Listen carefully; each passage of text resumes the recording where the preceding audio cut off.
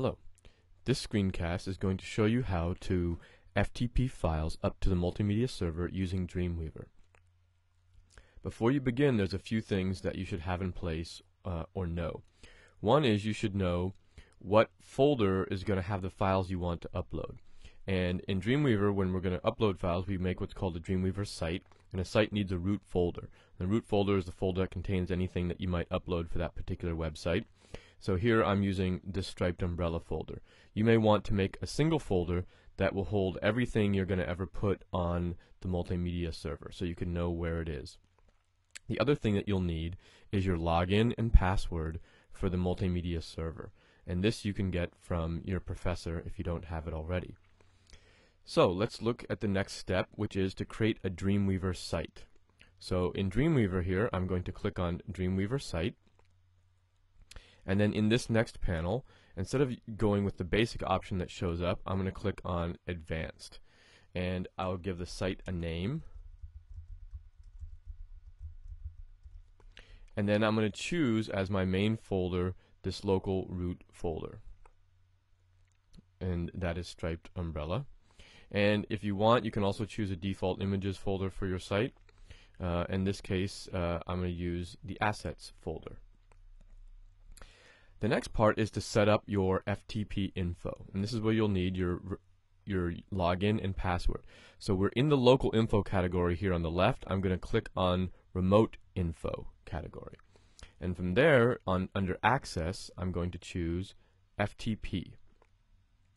Under the host, everyone types the same thing, mmp.bmcc.cuny.edu.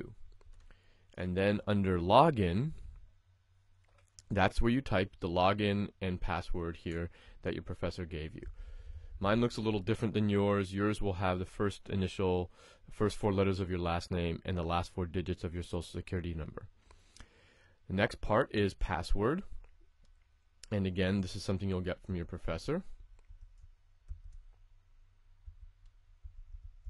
And then at this point, just to be sure, you can click on the test button to see if it actually is working. And you should get this message if it's working correctly, that Dreamweaver connected to your web server successfully. If that's true, great, then you can click OK and Dreamweaver will set up your site for you.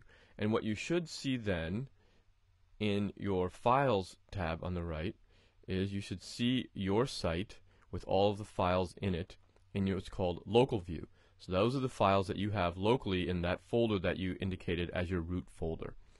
If you switch to remote view, you can see what files are on the server. If this is the first time you're doing it, you may not see any files here on the server. In my case, I already have files up there. So now, how to upload files to the server? Well, the basic way is you simply select a file here and click the up arrow, and that's put files and it'll give you this question, do you want to put dependent files? Dependent files are images or cascading style sheet files that are used in your HTML file, and you can either click yes or no. And also, it says it may overwrite um, any files and so forth. Uh, this one is one that I already had there, and that's why it asked me, did I want to overwrite it? If it's not there anymore, you won't get that message. And the same goes. You can actually also select more than one by holding the Shift key down uh, so I clicked one file, I held the shift key, click some more, and I can upload more than one file, and there it is.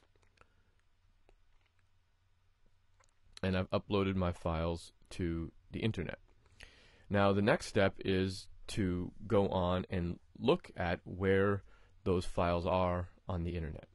So in order to do that, we're going to need to open up a browser.